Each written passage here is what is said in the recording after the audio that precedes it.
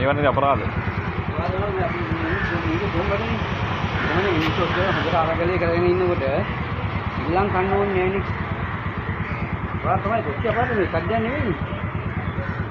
ඉතින් ඒවා අපේ කුණු වදින ඒවානේ. ඒකත් ඒක.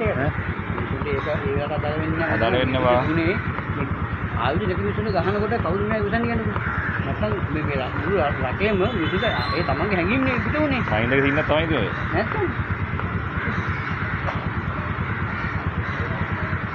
හරි ඔක්කොම කුඩු කරලා. පල්ලෑ. කුඩු කරමු. පල්ලෑ කැප් කැප් ඔක්කොම කුඩු කරලා. කැප්? කැප් හතරක් තියෙනවා කැප් හතරක් කුඩු කරලා GPS එකයි. ඔක්කොම කුඩු කරලා මේක තරම් නෙමෙයි.